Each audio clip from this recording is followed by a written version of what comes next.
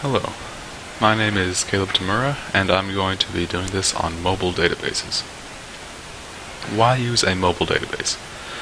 A mobile database is a database that is used on handheld devices, which means the user can use the database wherever they go and whenever they want. Some mobile databases have the added benefit of being usable when the device is offline. Uses of mobile databases.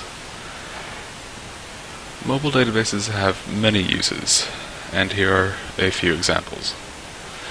They can be used for simple things like storing your contacts or events in a calendar.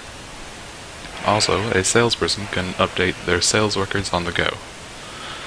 Reporters can update news at any time and from wherever they might be.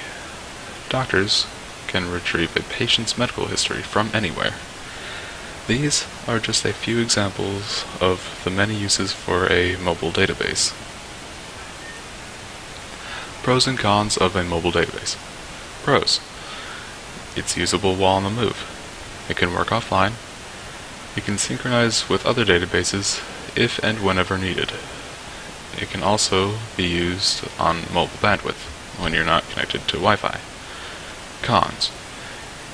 It can be a problem for the device's battery at times, and query processing can become slightly complicated due to the user's changing position.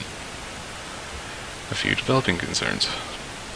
Mobile devices have limited battery power, and the main power consumers on a mobile device are the processor, the display, and network connectivity.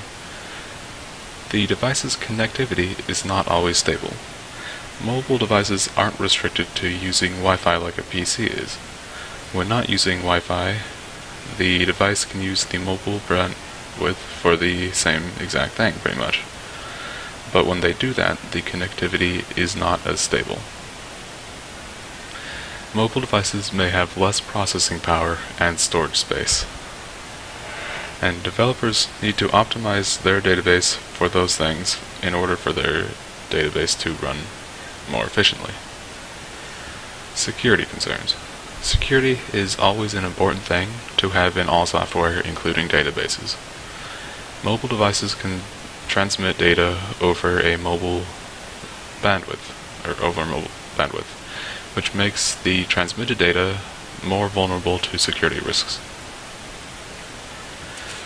Overall, mobile databases are useful for many things, even though they're useful, they do have a few more issues to deal with than developing, or when developing.